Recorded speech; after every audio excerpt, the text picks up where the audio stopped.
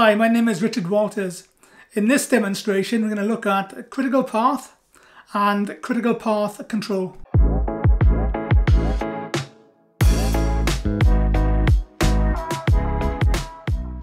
In this demonstration, we'll look at critical path and critical path control. So I'll first demonstrate critical path. So the critical path is the path in the project where there's zero slack. So slack means no wiggle room. So let's have a look at tables to have a look at this. So there's a view tab, tables, and the schedule table will show you your slack. And in this table, we can see that all tasks have got zero slack, except for one task, and that's task six. And this is because there's a start to start link with task four. So in effect, task six can do the work according to this schedule at a later date if it needs to, because it's got slack in it. So we're now going to turn on the critical path to link it to Slack.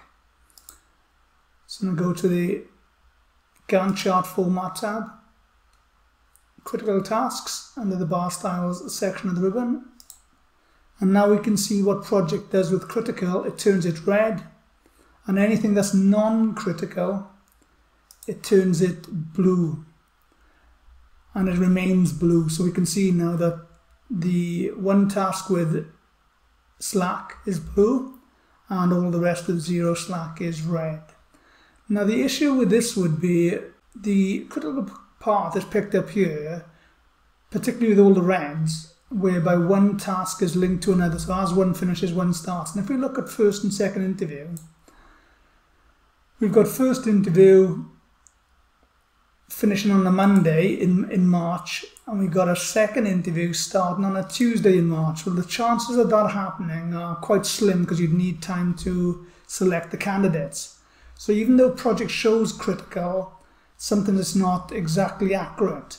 And we can control this, and I've got another file to demonstrate this, which is called critical path control, and I'll now use this file.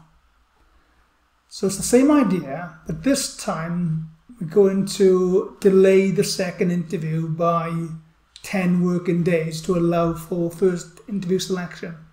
So I'm going to add a constraint, double left click, advanced tab, start no earlier than, and I'm going to go for the, so this is due to start on the 1st of March 24. So it's a Friday, so I'm going to go forward to that date and I'm going to give it a delay of just over two weeks to the to a Monday. So I'm going to give that a delay until Monday the 18th. And I'm going to put in the notes and click OK.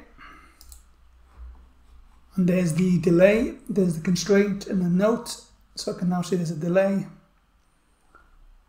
And if we turn on the critical path now, at this point,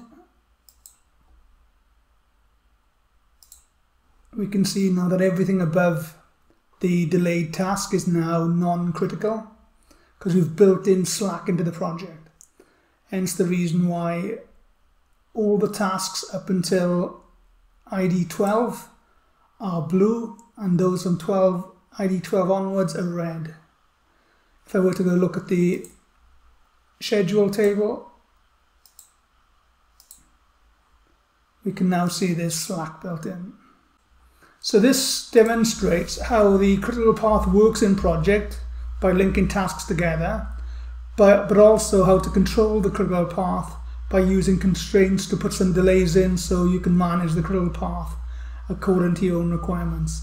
This completes the demonstration on critical path and critical path control.